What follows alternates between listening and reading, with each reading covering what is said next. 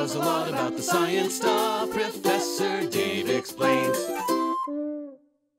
Phylum Arthropoda gets its name from the ancient Greek arthron, meaning joint, and pos, meaning foot. So they are the jointed foot animals, and they are the single most diverse animal phylum, containing about 80 to 85% of all described animal species.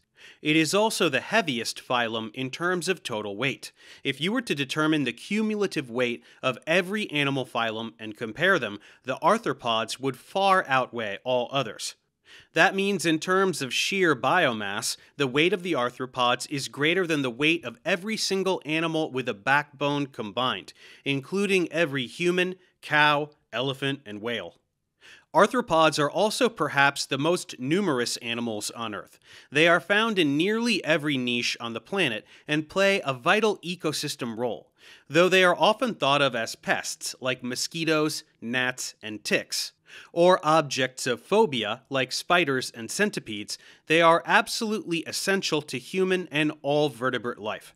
They are carnivores, herbivores, predators, prey, decomposers, pollinators, parasites, and mutualists.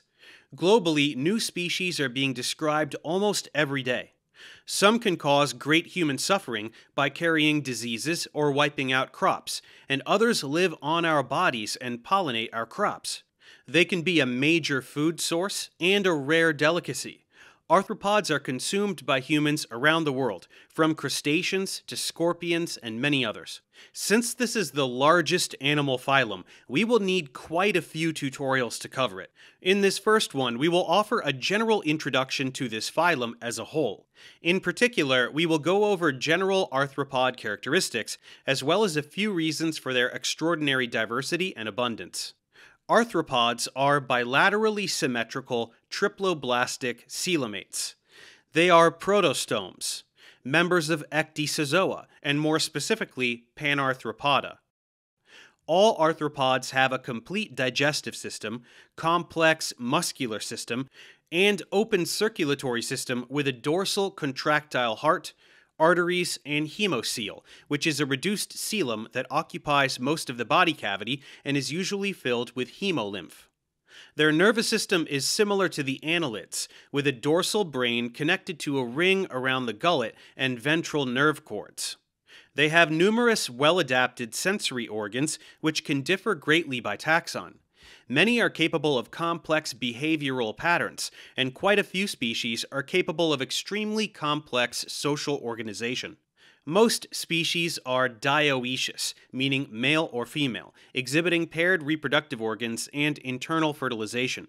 Arthropods also have a wide range of respiratory systems, including gills, book lungs, and complex tracheal systems. Many have compound eyes with complex photoreceptors in addition to simple eyes. Others have only compound eyes, and still others, like members of Chelicerata, have only simple eyes.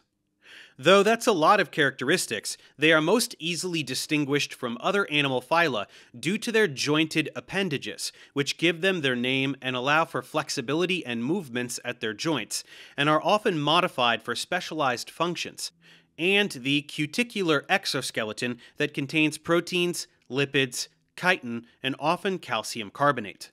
Those characteristics, combined with a third major characteristic, segmentation, has earned the arthropods the nickname of the Swiss Army knives of the animal kingdom. Segmentation allows for extreme modification of body parts across the arthropod subphyla. Take, for example, the difference in segmentation between an ant and a centipede, or a jumping spider and a horseshoe crab. They all show segmentation, but their bodies are highly modified, just like their jointed appendages. Arthropod diversity is staggering. They have colonized the land, sea, and air, and have been found from the bottom of the ocean to the tops of some of the highest mountains. There are many reasons for their incredible success, but here we will highlight six attributes that play a major role in their dominance.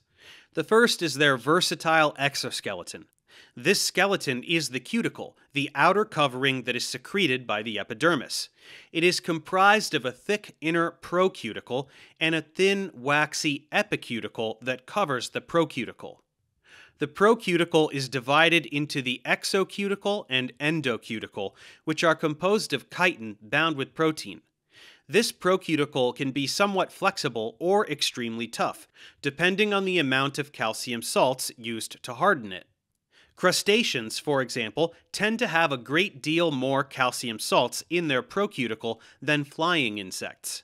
In order to grow in size, arthropods must shed or molt their old exoskeleton.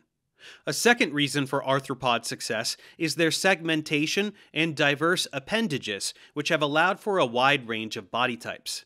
These segments often fuse into functional groups called tagmata, which have specialized purposes. Insects, for example, have three tagmata, while spiders have two.